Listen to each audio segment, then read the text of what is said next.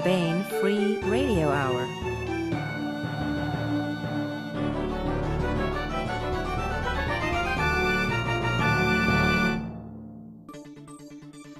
On the podcast, exploring the weapons shop of Golden Age greatness with Drake and Flint. You can get there from here if you have a map, says Baen cartographer Randy Asplund, even if there is a parallel universe. A pulp of paperbacks, and London underground monster, the winner of the Jim Baen Memorial Short Story Contest, plus part 13 of the complete audiobook serialization of David Weber's Shadow of Freedom. All right now.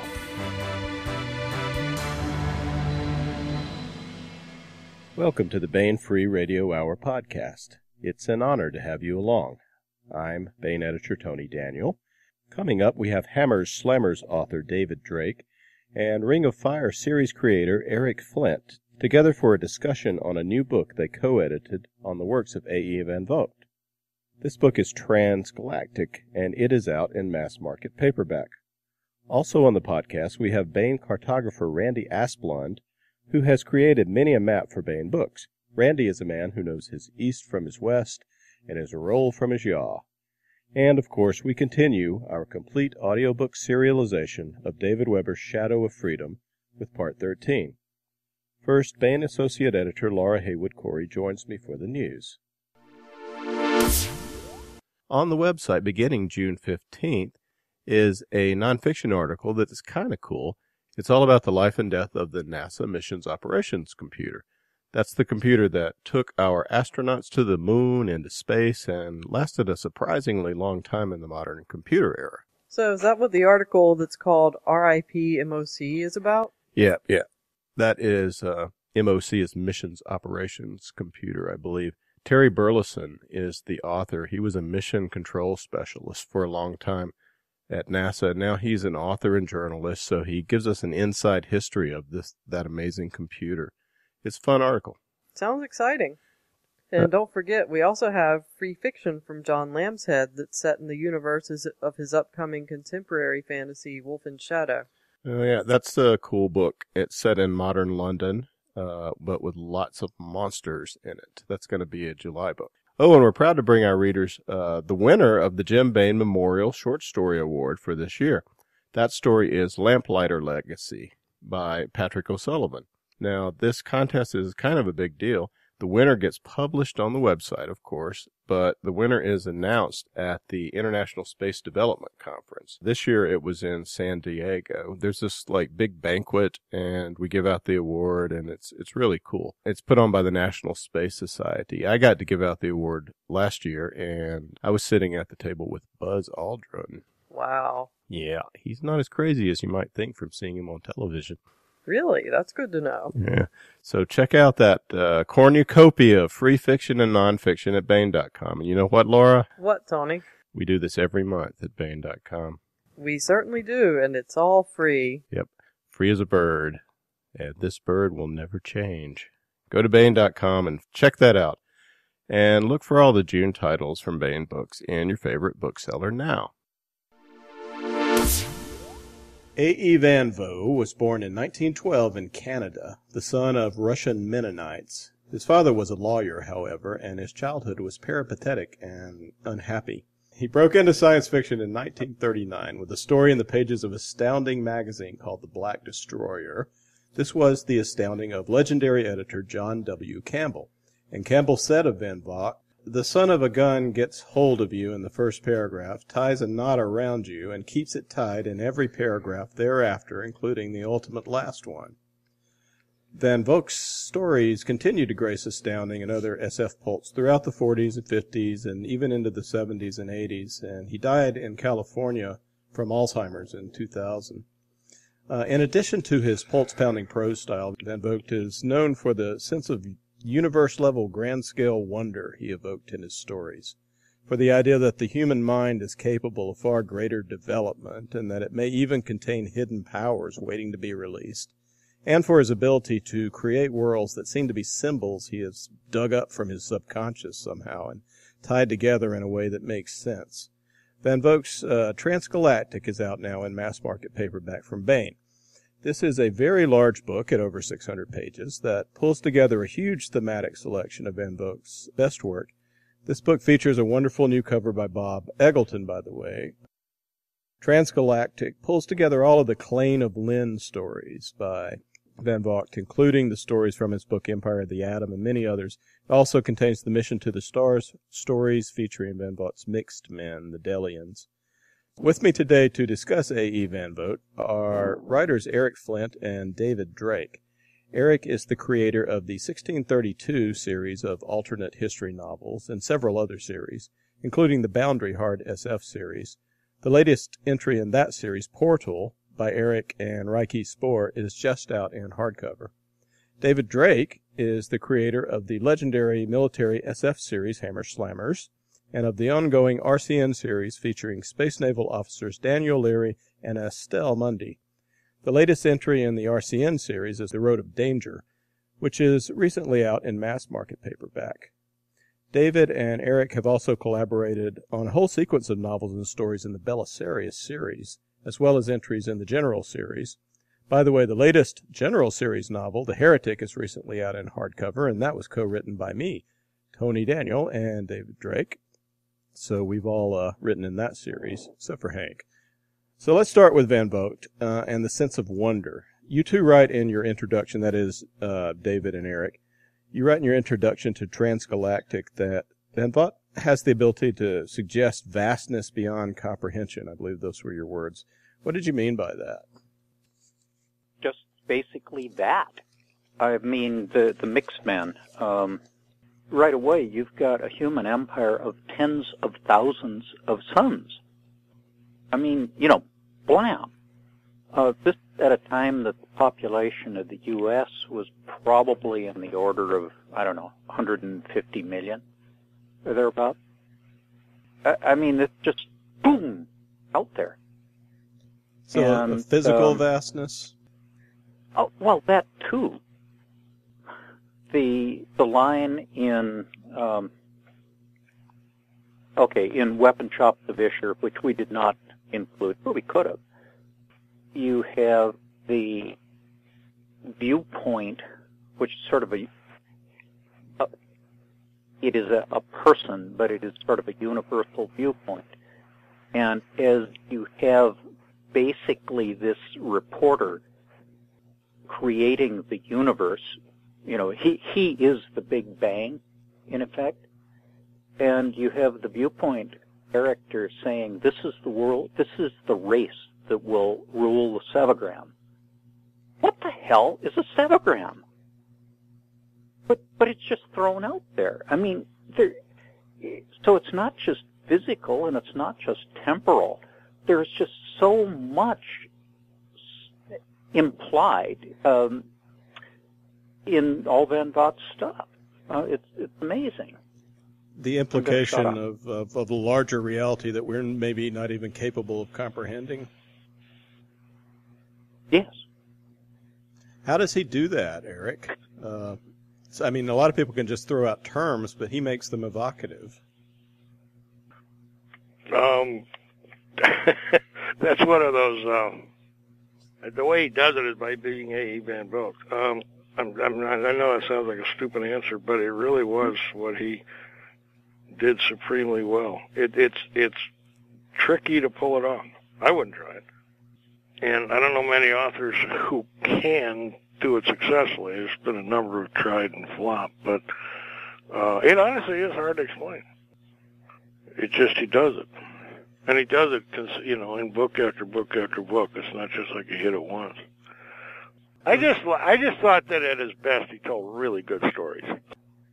His prose style seems to me to be something like something that would hook a 14 year old uh, just just constantly. He's got 800 words, I believe, was his rule, and he and he had a climax of some sort coming on, or a, or a twist, or a.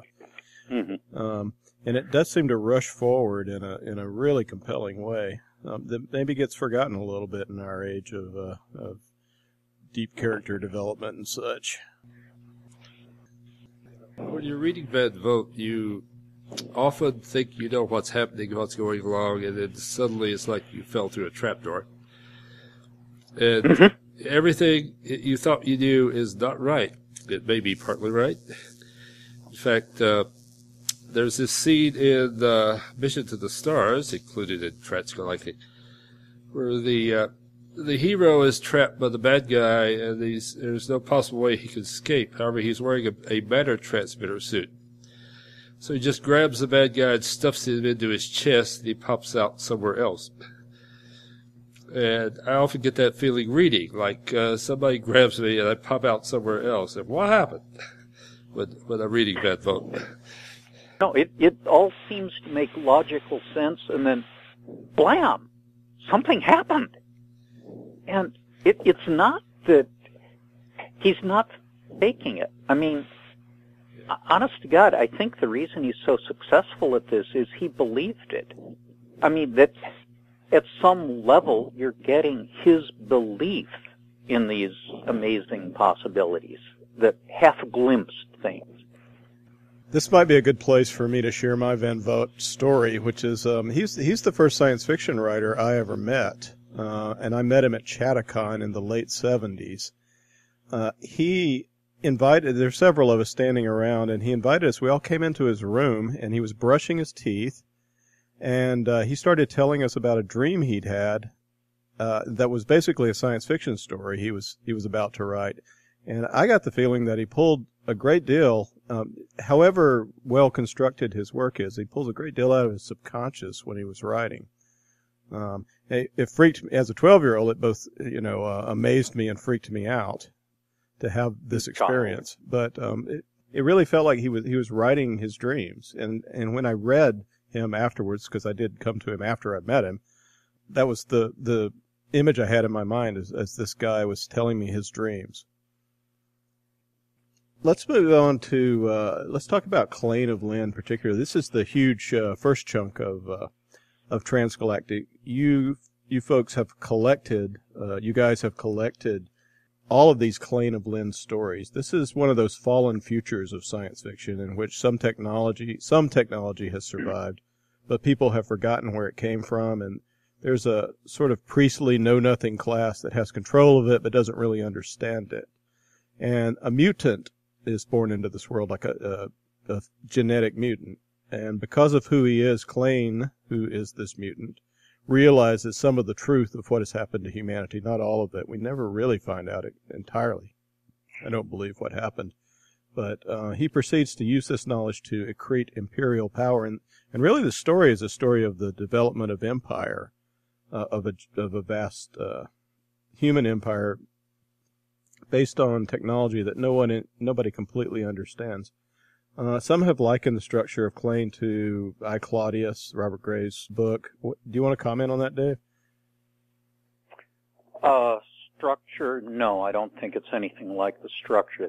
Character, however, it's not at all unlikely that Van was thinking of Graves when he, you know, Graves Claudius when he created his Clane. May I toss in something here? Because talking about uh, associations, it occurred to me when I was rereading stuff preparatory to this. Um, this is very much the character of Lois Bujold. Uh, Yeah. And has has she explicitly acknowledged uh, connection? I, I, if I had a little more time, I would have asked her, but it just hadn't occurred to me till now. Can you explain what you mean? Oh yeah, you you have a a mutant who is you know in in general human, just sort of a deformed human, uh, very physically weak, but who's Oh, well, brighter than David, anybody. can we back up a sec? You have a mutant born to a very, very prominent, highly placed, powerful family. Right, Miles um, Miles Vorkosigan in, in Lois Bujold's books. I see what you mean. both, And both them he is, although he is physically nothing much, he's smarter than not only anybody else around, but everybody else around. And, you know, that is very much the structure of both novels and, or both, you know, sets of novels. And, and I don't mean that it's impossible to develop something like that independently, but, um, I I certainly I found Van Vogt a an influence on me, and it wouldn't uh, surprise me if Lois did also, but I haven't asked her. Oh, uh, let me say about Claudius and why I, I don't think Claudius was indeed very smart and uh, major scholar, but instead of it being a benefit to him, he kept getting screwed up because he was um, he was just too clever and he was more interested in cleverness. You know, the famous line, and you, you see it quoted all over, mostly in titles, Hail Caesar, uh, we who are about to die salute you. What, as, you know, the gladiators saluted him before the games. Uh, what's usually not said is what he, what happened then. He said, or not, uh, because most of them wouldn't die. And so they went on strike saying, okay, we've been pardoned for this battle and we don't have to fight now. And they all sat down and there was almost a riot. And, you know, he was grammatically correct, but he was an idiot to have said that. And it turned the populace who already thought him weird, uh, even more against him. Now that's not the sort of thing that Clane would have done. I think that stuff about Belisarius being influenced on the Clane stuff started with with Damon Knight, and I I tend to distrust anything Damon Knight said about Van Vogt since he despised Van Vogt's writing so much. Once once referred to him as a pygmy who learned to use a typewriter or some phrase like that. I mean, there's a whole other story we could uh, we could explore, which is Damon Knight's sort of critical dismantling of Van Vogt for no reason whatsoever. But let's uh, let's skip over that. There's so much better, you know, so much positive stuff we could say. Yeah. Let's talk about Van Vogt and his ideas about mental power for a bit. Um, this is a thread that seems to run through the 1940s and 50s science fiction. I, you know, you just see it poking up all the time. You don't see it so much these days, or or maybe there's a resurgence. I don't know. Uh, this is the idea that humans only use a portion of their minds and we can unlock all kinds of ability if we just take off our conceptual blinders. We can be geniuses and have ESP and telekinetic powers and, you know, change things with our mind, teleport, maybe become gods ourselves. This pops up a lot in the Clane stories and it's very evident in the Mixed-Men stories. Van Vogt is said to have been influenced by the psychologist and linguist Alfred Korzybski, I believe is how you say his name, and his theory of gen- general semantics. Where did this theme come from in Van Vogt's work? Is it is it something he picked up from the air, or did he bring it into science fiction and others picked it up from him? The the fourth collection of um, Charles Fort's essays, Wild Talents, was about and actually it tended to be called in the 50s it was called psi psi and campbell was pushing it hard in the 40s, it tended to be called wild talents, literally. And uh, again, Campbell was very strong on this sort of thing in in astounding. And um, do you think this was uh, just a hobby horse of John Campbell, or was it something that was actually in the, you know, in the air of the time that he was picking up on? Well, I think in the air, but but he was the most prominent uh, you know, supporter of it. He, he was the editor who was most prominently supporting it, unless you want to say Ray Palmer. Yeah, my sense is kind of that it was just something that was in the air. And, I mean, it wasn't just Van Vogt. You tend to run across it in lots of authors in that period, and even into the 60s. What do you, what do you think it means eh, as a, why, how does it map onto our culture if you want to put it that way. What what the heck is it an analogy for? Why does it move people to read stories about that stuff? Other than that, it would be really cool to have ESP. Maybe that's all it is. Um, I I think it's mostly um, wish fulfillment. I I don't know that there's anything really that significant you can read into it other than um, it was kind of whoopee. It's like mm-hmm interstellar, intergalactic travel where it's just all basically hand waving, you know. Um, and you know, next thing you know, you're zipping across intergalactic voids. I mean, a lot of science fiction in those days had that kind of um, um, um, the, the plot works by the use of unobtainium um, of one kind or another, and I, I just think the the free use of supermental powers of one kind or another just to me sort of was part and parcel of all that. By the time you get to the end of the '60s, um, one of two things has happened. First of all, a lot of that kind of uh, call it spirit, if you will, just goes into fantasy because you get a huge explosion of fantasy. And science fiction becomes quite a bit more, I guess you could call it realistic, or, you know, less hand waving, uh, you know, it's just tighter by and large.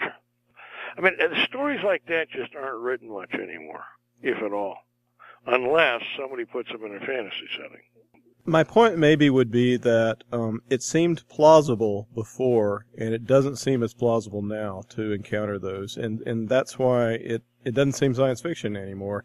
Uh, and uh, for me, that may be a lot to do with um, with Van Vogt's sort of critical reputation following falling for a while, and then and now coming back up after we realize uh, that um, that a lot of that stuff was was really predictive in a way because we're we're coming back to that sort of, of feeling that that human mental powers are going to expand maybe in a different way than he he foresaw. This brings us to the question of Dianetics, um, which we should probably touch on. We know that Van Vogt was uh, very involved with the early days of Dianetics, and he and L. Ron Hubbard uh, knew each other in California, and um, and John W. Campbell. They all introduced that thought uh, system in in the pages of Astounding in the in the fifties. This seems very related to this. Van, Van Vogt was in fact running the Dianetics operation in L.A. for 11 years. Yeah. And that's the period that he he stopped writing and began devoting himself entirely to Dianetics. Now, you said earlier, And- David, that um, that you thought he he really believed a lot of that the the belief itself. Oh, absolutely. Um, and do you think that this is part and parcel with his uh, developing Dianetics and Yes. Uh, if you read his, uh, what was it, Hank, uh, 1940, his uh, World WorldCon Guest of Honor speech, he's talking about that in 1940 or whatever it was, 40, 41.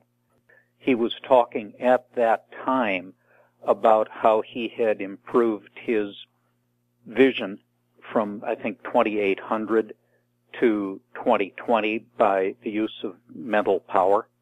Apparently, Heinlein was trying to do the same thing uh, with some claimed success uh, to get back into the Navy. Uh, But this sort of thing really was a matter of serious belief from serious science fiction writers. And I don't think Van Vogt ever lost that. And that's good in the sense that when he writes something, he really believes it and he makes it believable to the reader because of his faith. Even if what he's talking is what I personally may think is BS, uh, he he makes it come across. He gives the reader the feel that no, this is real. I don't understand it, but it's real. And that sure hit me when I was 13, 14, 15, uh, and first reading science fiction seriously, uh, because Mission to the Stars was either the first or the second science fiction book I bought. And this really made an enormous impact on me. Um, it, it's real because it's told for true. Let's talk finally uh, once again about that transgalactic sweep that Van Vogt uh, brings t- into his work. Um, a huge range of authors, you two, and Philip K. Dick and Gene Roddenberry, among many, many others, uh, have have claimed him as as um, influences. So, do you have any final thoughts on this, Eric, uh, Dave? I, I got to be honest. I started reading Van Vogt really early, and I read him for a number of years. I never took him very seriously as far as the theories that he shoved into his works, even as a teenager. Um, I just thought they were generally really good stories. And you know, I mean, if you look at something like Voyage, uh, Voyage of Space Beagle, uh, you know, the hero possesses this, you know, super science called nexialism, and based on which he, you know, it's a heck. The stories are really good, but I never took it. You know, I, it's just it was kind of. I don't know how to put it. I read Van Vogt kind of like I read fantasy. He would have his uh, same with the World of Null-A and you know the Null-A books. Um, you know, where the guy had the magic powers of, of, of non-Aristotelian thinking by Korzybski. And see, the thing is, I took quite a bit of philosophy in college. I knew perfectly well this was, at best, a crude. I don't know how to put it. I, I never took any of that very seriously. Um, and that's not the level in which I read Van Vogt's stories. It just, I thought he had a really wonderful ability to evoke a kind of, you know, what we talk about transgalactic grand scale and scope of his stories. And then he would just charge ahead and, and, and tell stories that, like I said, I really read him more in the spirit in which I read fantasy than the spirit in which I read what I consider hard SF. Something like Nexialism is like a magic wand, you know? It's, mm-hmm. it's, you read a fantasy novel, and the wizard has a magic wand, and with it, he or she can do all kinds of things. And okay, I'll go along with that if the story's good. And that's kind of how I felt about Van Vogt's various hobby horses. Um, just, so uh, when we put together this book, most of it I went back and, and I think David. I don't remember which one of us proposed which one of the stories, but mostly we just wanted to put back in print really good stories he told that had fallen out of print. I mean, some of his stories had stayed more or less in print, but these had all fallen out pretty much. That's kind of how we put it together. But I think the less you look for depth in Van Vogt, the better off you are. I, I don't know how to put it. I mean, it's it's. Uh, I don't know what he himself thought of all this, but I think those books of his where he'd really delve into it I, think it got to be a problem with the null A books because you know the underlying theory, whatever you call it, would would just start tripping. I like those books less than I like most of us, and, and it was for that reason. It was it, he seemed to be spending too much. Uh, I don't know how to put it. it, it the the the, the story seemed to be more about this theoretical philosophy than about the story, and I found it got a little turgid. Uh, Thank you for uh, regrounding us in uh, in our blue collar roots here. we just read it because it's good stuff. Uh, if I can throw in something on Eric's uh, yeah. position, because we come to it in sort of the opposite fashion. Uh, I have no ideology, and I've always found, and I've tried. Honest to God, I've tried. I find philosophy deeply boring. Uh, but so that part of Van Vogt never particularly touched me. I don't think you can actually say it's fantasy, though, because I think at some level, uh, Van Vogt, whether or not he understood it, he and and I don't. Uh, this may not be true in the later um, uh, books, uh, but I think he thought it was real at some level, even if he couldn't quite understand how it worked. And so I came to it as here is this great story, and the the mechanism of the hardware doesn't really matter because it isn't the mechanism of the story.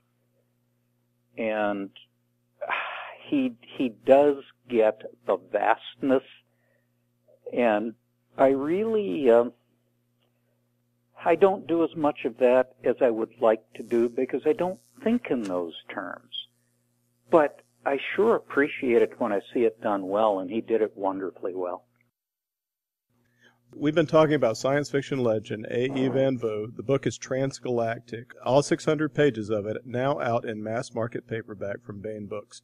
I want to thank David Drake and Eric Flint and Hank Davis for being with us. You can find links to their books and to Transgalactic at the uh, Baen.com website. Thanks, guys. All right.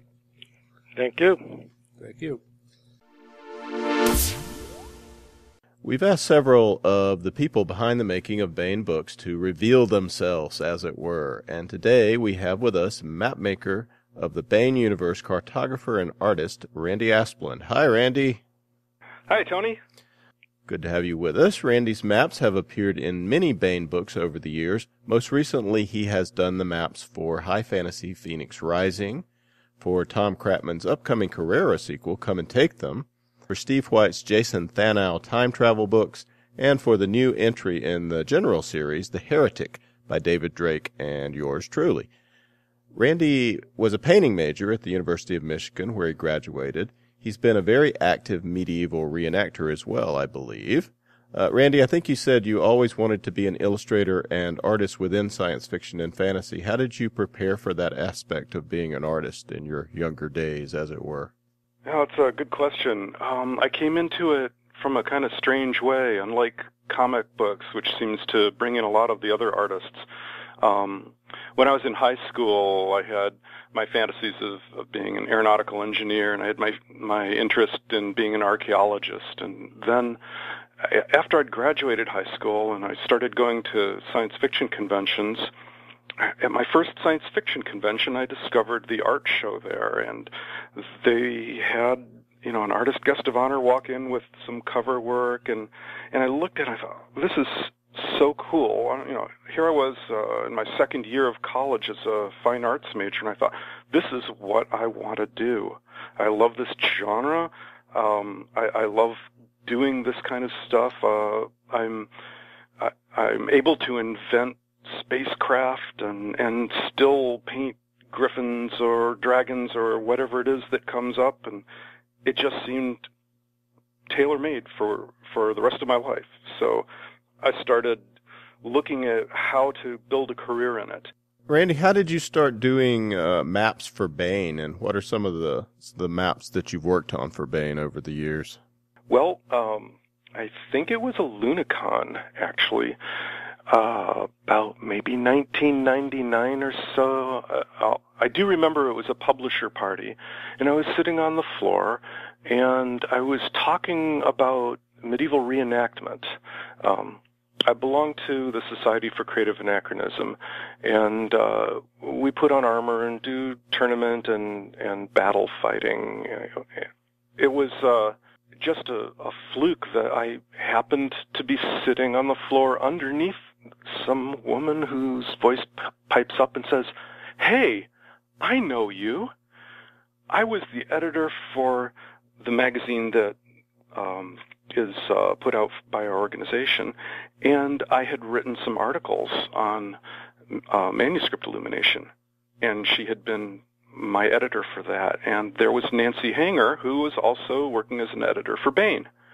and we struck up a conversation and she already knew what I do and she thought my calligraphic and manuscript illumin- illumination styles would work very well for some books that she was working on. Um, and the next thing I knew, I was doing my first map for an Eric Flint novel. I think that one came out in 2000, so it's quite a while ago. I did an awful lot of books that had Eric and various other authors attached to them. Um, a lot of books by people like Dave Freer and uh, David Weber. Um, I've done some by Ryk Spoor, and um, there was a Mercedes Lackey or two in there. Uh, goes on. Steve White, good author. John Dalmas. Some really fun maps. I I uh, I got to really stretch myself because you know one day I would be doing a realistic map of uh, an alternate history of Europe, and then I'd be doing star charts, which are always fun, like the one from Hell's Gate.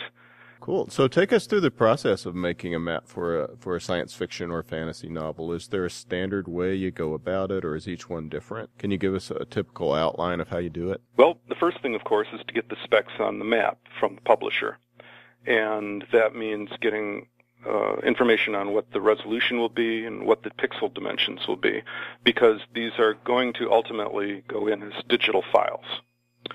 And you have to keep a real good track of the scale of what the objects are going to look like in the map when they're shrunk down to a paperback book. And then, of course, the author usually provides some kind of a hand-drawn map that is well, nine times out of ten, completely out of proportion and scale, and and it's completely not the proportion of rectangle that you need. So then you have the challenge of trying to figure out how best to fit that onto one, maybe two pages as a spread. If it doesn't quite work that way, sometimes you invent a little bit of artwork to go around it. And oftentimes these things are are rectangular and have nice little borders that I try to put in, but um, for example, in the Shadow of Saganami, I did an oval with star fields inside the oval, and then the uh, star chart was mapped out inside of that oval. So that was, you know, kind of fun. Um, and then my approach on these is usually digital. I have done um, handwritten calligraphy on paper and then scanned it in. Um, that's best if you want to make your own kind of font, if you will, and really make it artsy. Uh, otherwise, I go out and collect a lot of fonts from the internet and have them available on the computer to use. Um, the nice thing about that is, of course, I can scale them and I can type them out rather than having to place each letter and, and move them around. Sometimes, though, you know, maybe you're dealing with an alien writing uh, or symbols. All of these things I have to invent by either drawing them by hand or digitally creating them. I use a graphics tablet exclusively for all of the freehand drawing when I work digitally. The, the maps all have to be in grayscale, and so I have to be very careful to make sure that everything has good contrast. Um, we have a little bit of uh, ink bleed that's going to happen on various papers, so uh, to make sure that the lines are, are crisp and clean and bold enough I have to keep account of how thick I make the lines. So there are a lot of different factors to really keep in mind when I'm working on these things. How do you decide on the general look of a map? Well, first of all, I think about what it's trying to represent. Um, I need to get the information that the author wants in there, and that's the highest priority. I can't distort it because the author is giving us a map because he wants us to see the relationship of where things are. There are times when it might require a small area to be enlarged as, as a second map or, or an inset, but uh, I really have to stay faithful to what the author wants and get all of his labels into the picture. The best way to do that is to start playing around with rotating it and uh, scaling the image and trying to fit it onto the rectangle that I'm given. Now I'm allowed to shrink my rectangle so it's not so tall and narrow. But if I do that, it looks kind of funky on the page because of the page proportion of the book. So I really want to try to keep the format that I've already been given. Other than that, I try to plan it out with artistic composition in mind because art has to look good, not just show the object. Do you have any uh, favorite or memorable maps that you that you've done for Baen? Actually, one of my favorites was uh, in Pyramid Power by Eric Flint and Dave Fisher. And it wasn't your standard kind of map. It was done pencil rendering on a large sheet of paper because it was an oblique view of the Norse cosmos. So there's this landmass floating around in space at the bottom, and out from it comes a tree that grows straight up through the picture, and there's a spiral that wraps up and around it, and that's the world. And it's all nested in the branches, and then I had to draw in all of the little features that go with this Norse cosmos, and it was just a lot of fun to put all of those things in there as a pencil rendering, as opposed to flat line work with color fields.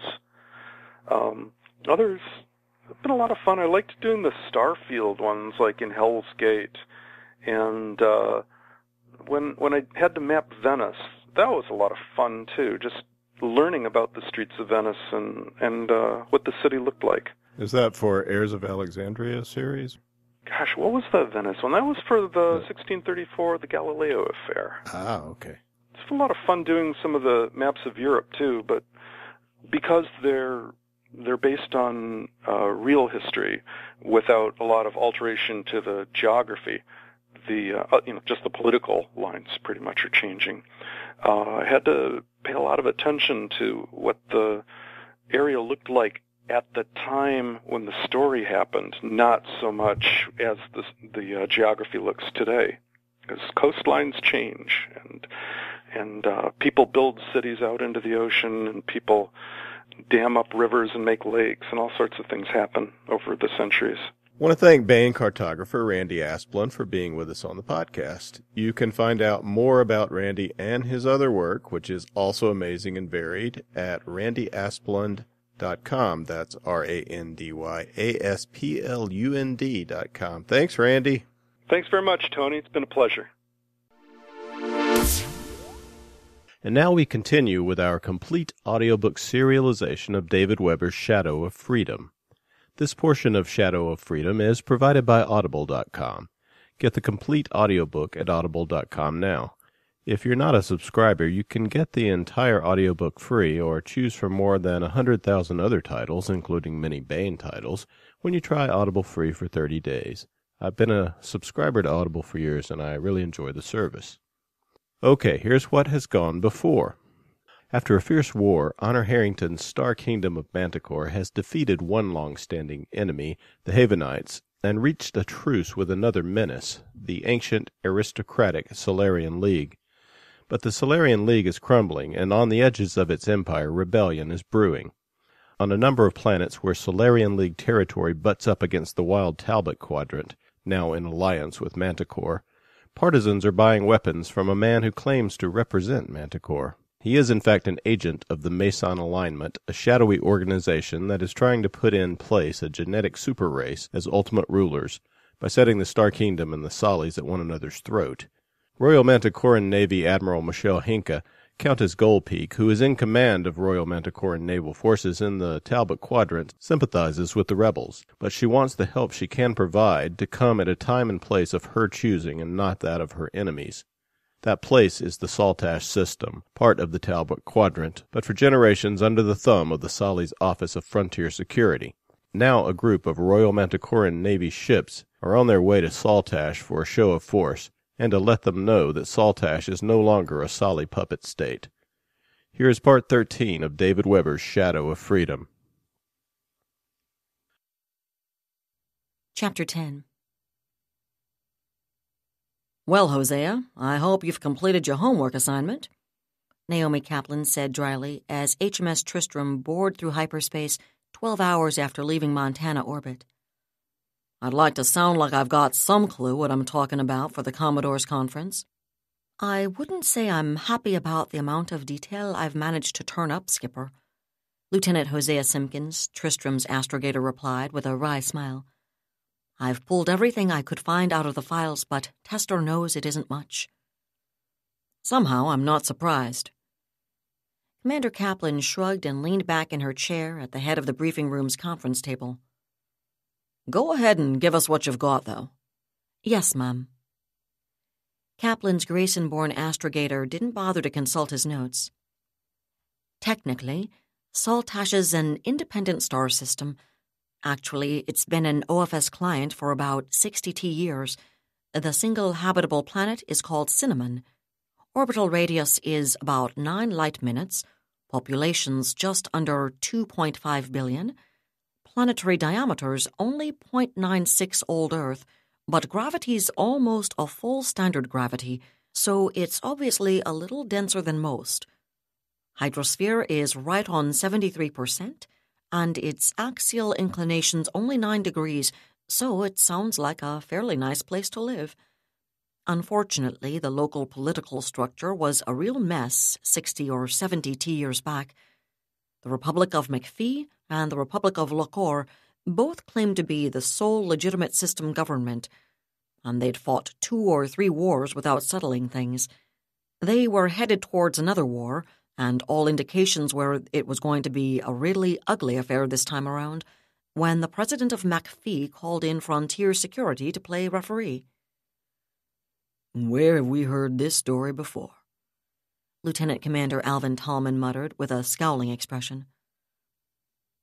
I hate to say it, sir, Simpkins told Tristram's executive officer. But in this case, OFS really did end up doing one of the things it was ostensibly created to do. I'm not saying it did it out of the goodness of its heart, you understand, but if the League hadn't intervened, McPhee and LaCour were probably getting ready to pretty well sterilize Cinnamon. That's how bitter the situation had gotten. Any idea why things were that bad, Hosea? Kaplan asked, her eyes intent, and Simpkin shrugged. Not really, ma'am. Given the intensity of the last war they actually fought, these people were as unreasonable as we Graysons were before we exiled the faithful to Masada. But it doesn't seem like religion was behind the antagonism in Saltash's case. The only thing I can tell you for sure is that the two sides had obviously hated each other for a long time, and it looks like they'd simply reached the point of being so pissed off if you'll pardon my language, that they were ready to pull the trigger even knowing there was a pretty good chance they'd wreck the entire planet. Well, that sounds promising as hell. Lieutenant Vincenzo Fonzarelli sighed. It might not be that bad, Vincenzo, Abigail Hearns said, smiling slightly at Tristram's chief engineer.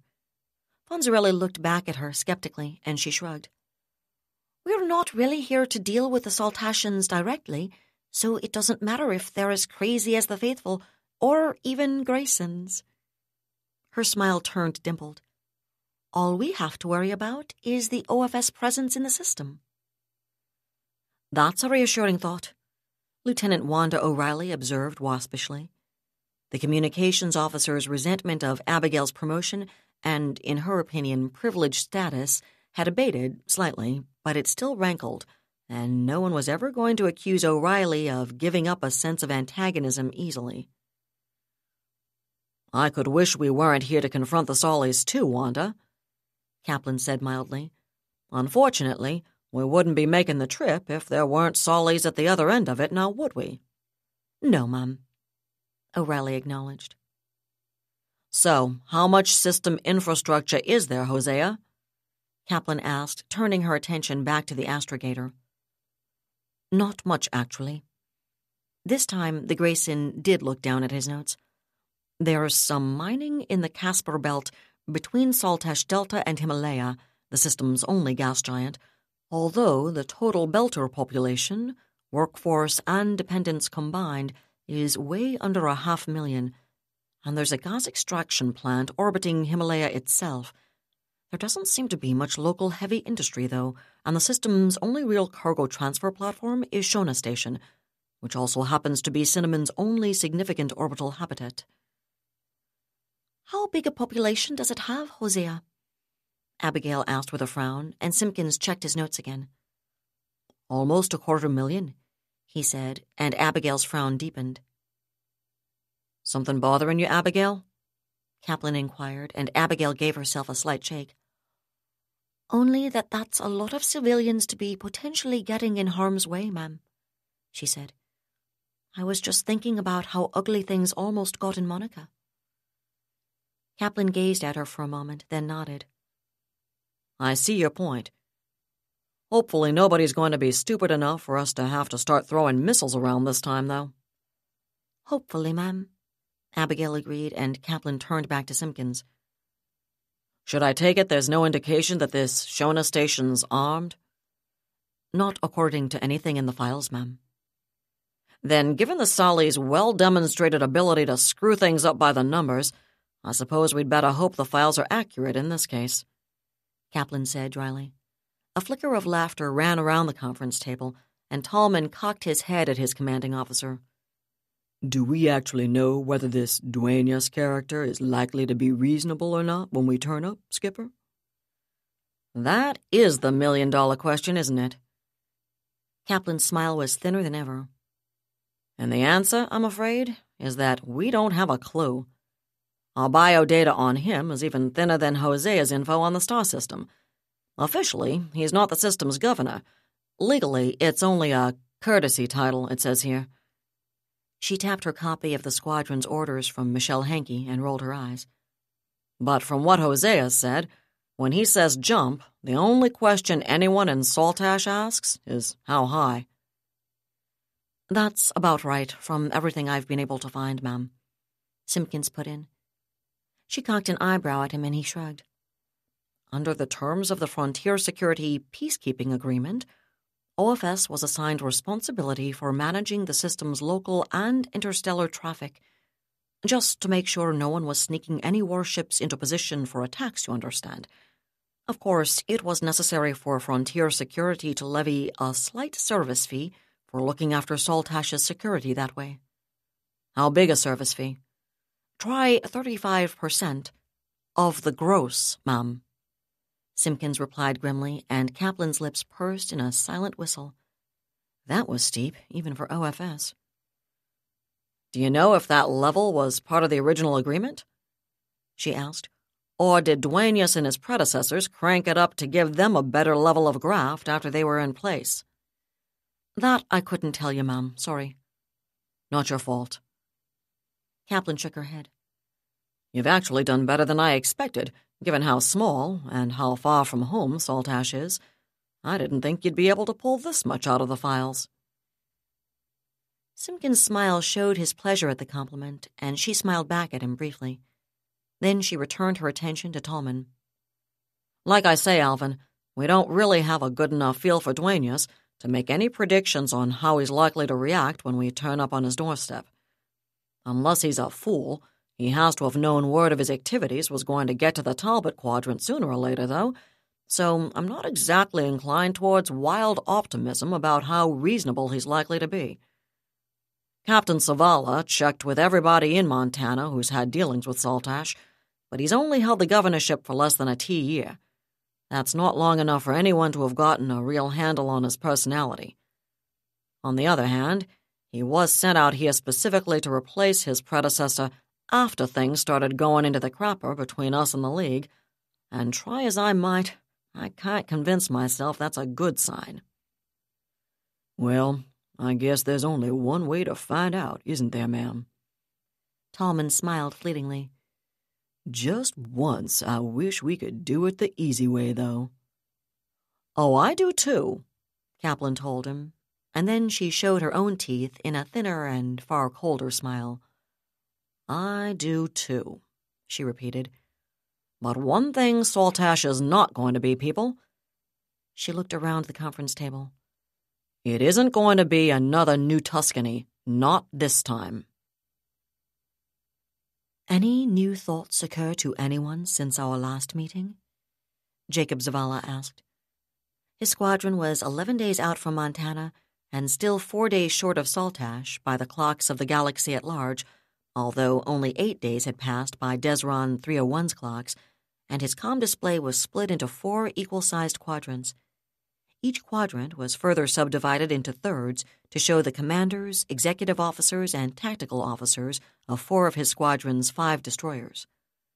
Commander Rochelle Goulard, Lieutenant Commander Jasmine Carver, and Lieutenant Samuel Turner of HMS Kay were physically present in his flagship's briefing room along with Lieutenant Commander George Auerbach, his chief of staff, and Lieutenant Commander Alice Gabrowski, his operations officer.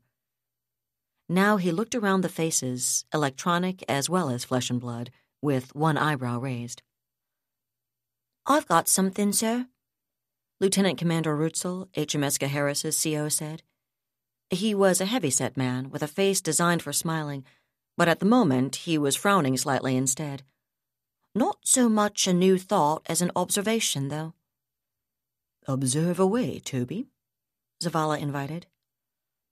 I've been looking back at the information, such as it is, we've been able to pull together on Shona Station, sir.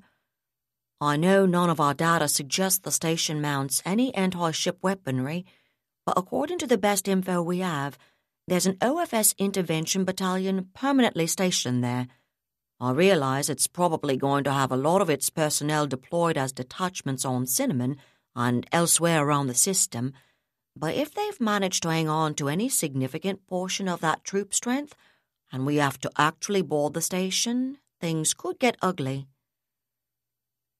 There was silence for a moment. Then Captain Morgan, HMS Gawain CO and the squadron's senior captain spoke. Toby's got a point, sir, he said. Under most circumstances, it probably shouldn't be a problem, but we've already had ample evidence the Sollies are willing to push things way past the point of reason, especially when we don't have a batch of Marines of our own to send aboard to help them recognize the logic of our argument. Zavala nodded soberly. You've both got points, he agreed. I'd like to think any responsible officer would recognize the need to stand down when we turn up in strength, but people have different definitions of responsible. And let's be fair here. I'd find it difficult to roll over and play dead if a Solly squadron came sailing into a star system I was responsible for defending and started throwing around demands. And Frank's right about our dearth of Marines, sir, Naomi Kaplan said a bit grimly. Holding down crew size is all well and good, and I'm all in favor of the increased efficiency for shipboard operations, but not having any Marine detachment for moments like this is a pain in the ass.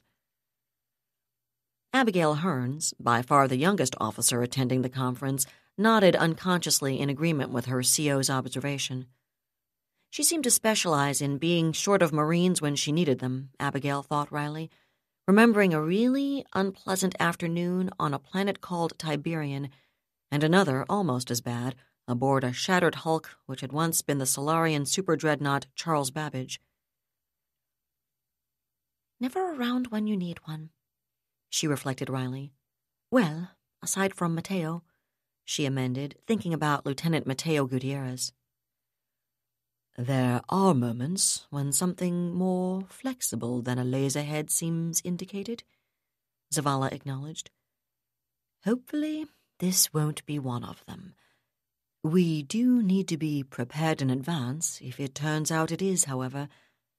Now, I wonder who among us might be best qualified by experience and training to oversee a little responsibility like this. His tone was almost whimsical as his eyes tracked across the com display. He smiled as they came to rest upon one of his officers' faces, and Abigail found herself looking back at him. I believe you've had some small experience in matters like this, haven't you, Lieutenant Hearns? What's this all about, Vice Admiral? Damian Duenas demanded a bit testily. He'd been in bed for less than two hours when the emergency com call came in, and he wasn't one of those people who woke up cheerful. We've confirmed a significant hyperfootprint, Governor, Vice Admiral Oksana Dubrovskaya replied from his display. Gravitics make it five separate point sources. Duenas stiffened and felt his face oozing towards expressionlessness. Merchant ships didn't travel in shoals like that in Solarian dominated space, and he wasn't expecting any additional Navy visitors, or not from his own Navy, at any rate.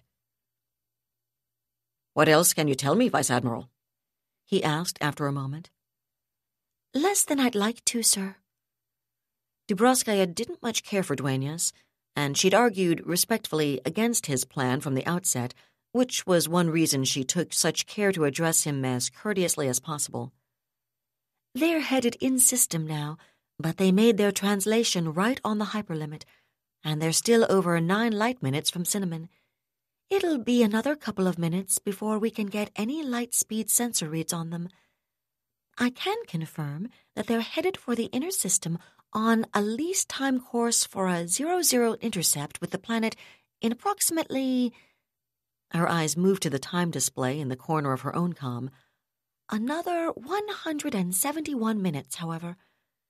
From their footprints and the strength of their wedges, CIC puts them in the 150 to 200 ton range, but their initial velocity was 926 kilometers per second, and they're up to just over 3,200 now. That means they're accelerating at 5.6 kps squared, Governor. Duenas looked blank, and Dubrovskaya reminded herself not to sigh. Sir, our Rampart class destroyers are only half that big, and their maximum acceleration rate, with zero safety margin on the compensator, is only 5.09 kps squared. Understanding blossomed in Dueñas's eyes. Manties, he said. I don't see how it could be anyone else with that accel, sir. Dubrovskaya agreed. The system governor didn't look very surprised, she thought. Unhappy, yes, but not surprised. Damn, Dueñas said mildly after a moment. I'd hoped to get some additional reinforcements in here before they turned up. Dubrovskaya stiffened visibly, and the governor shook his head quickly. That's no reflection on you or your ships, Vice Admiral, I assure you. But I'd be happier if we had an even greater margin of superiority. One thing these people have already demonstrated is that they're not exactly likely to be reasonable. Dubrovskaya contented herself with a silent nod, although she wasn't sure reasonable was a word Damian Dueñas should be throwing around at a time like this. Impounding the merchant vessels of a sovereign star nation and jailing their entire ship's companies without trial or bail didn't strike her as meeting the dictionary definition of that adverb either — no matter what theoretical justification for it he might have concocted. On the other hand, the decision wasn't hers to make, and she wasn't going to shed any tears about pinning the Manti upstart's ears back the way they needed. Even assuming there's any truth to the rumors about Spindle, Governor, she said, we're not picking up anything that could be transporting the missile pods they'd need to equalize the odds here in Saltash. Those rumors were a lot more fragmentary than she would have preferred, but they did seem to strongly suggest that Fleet Admiral Sandra Crandall's visit to the Spindle system hadn't gone very well. The only problem was that no one in Saltash had a clue as to how badly it might have gone. The battle, if a battle had actually been fought at all, had taken place little more than two months earlier and there simply hadn't been time for any reliable account of it to reach a backwoods star system like Saltash. One thing Dubrovskaya was confident of was that the stories they had heard, like the ones about what had happened to Joseph Bing in New Tuscany, had obviously grown in the telling. There had to be at least some core of truth to the wild tales of disaster, but the destruction of dozens of SDs while the Mantis got off scot free? Ridiculous. Still, the SLN had clearly taken losses and, presumably, retreated from the system in the face of unexpectedly heavy resistance, and that was more than bad enough for Oksana Dubrovskaya. The fact that a Solarian fleet had failed to take its objective for the very first time in the SLN's history was a sobering and infuriating thought, and she was determined not to let overconfidence lull her into creating her own disaster — which was one reason she was less than enthralled by Dueñas's strategy. She and her staff had analyzed the badly garbled bits and pieces of information they had as carefully and pessimistically as possible, however, and it seemed evident that the Mantis must have managed to get more system defense missile pods into the system than Crandall had realized. They'd probably been longer ranged than Crandall had expected, too, judging by the limited accounts they had. That was the only explanation they could come up with. And as she'd just pointed out to the governor, missile pods in Spindle weren't going to help them in Saltash. I'm glad to hear that, of course, Vice Admiral. Dueñas nodded. But I'd like to settle this without an exchange of fire, if we can, and having more of our warships in attendance might help assure that outcome. I'd just as soon not shoot myself, sir, Dubrovskaya said. If the Mantis are crazy enough to push it, though, they'll soon discover they shouldn't have. I don't doubt that at all, Vice Admiral. Dueñas replied. My concerns have nothing at all to do with your ships or your people. I'm just thinking about the political and diplomatic as opposed to the directly military implications. Understood, Governor. Dubrovskaya nodded, although the truth was that she was far from certain of exactly what Dueñas's political objectives were in this case. Still, whatever his intentions, his orders had been clear enough. He wasn't especially shy about handing those orders out either, she thought, with more than an edge of resentment.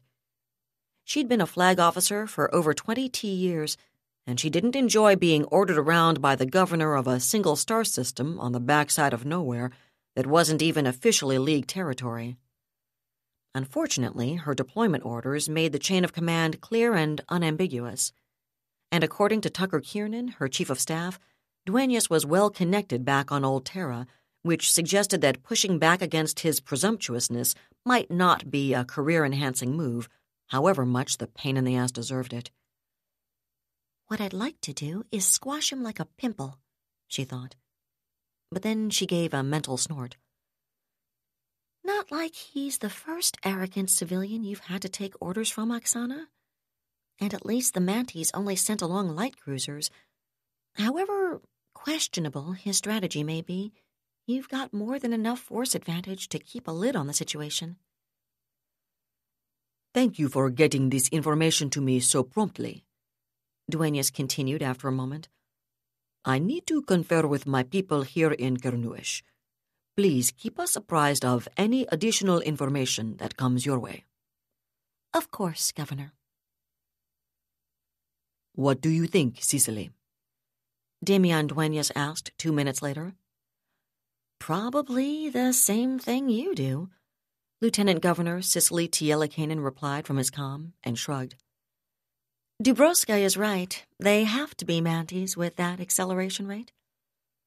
But why haven't they said anything yet? Duenas wondered out loud. Who knows?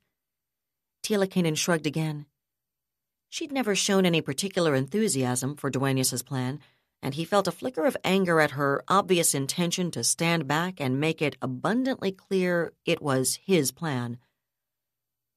Maybe it's some kind of psychological warfare ploy. They have to have thrown this together pretty quickly to get here this soon. So maybe they figure we don't have any Navy detachment of our own. If that's the way they're thinking, they may figure that letting you worry about them for a while will soften you up for their demands. Maybe. Duenas rubbed his chin, eyes narrowed in thought, carefully taking no note of the second person pronoun in her last sentence. Then he gave himself a shake and straightened up. I'd better get dressed. Meet me in my office as soon as you can. On my way now, she said, handing her visual pickup to let him look out the side window of her air car as it sped through the sparse late night aerial traffic of the city of Kernuish. I'll be waiting by the time you can get there. That was David Weber's Shadow of Freedom, Part 13, read by Allison Johnson. And that's it for the podcast. Thanks to Audible.com, thanks to Laura Haywood Cory, Hank Davis, and to David Afsharirad for help with editing of the Transgalactic interview, and thanks to March to the Stars theme composer Ruth Judkowitz. Intergalactic gobs of highly communicable gratitude to Transgalactic editors and Baen authors David Drake and Eric Flint, and to Baen mapmaker extraordinaire Randy Asplund. Please join us next time here at the hammering heart of science fiction and fantasy and keep reaching for the stars.